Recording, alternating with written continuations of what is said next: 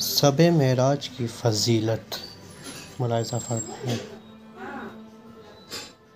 महराज उन नबी के रात को इबादत करता है।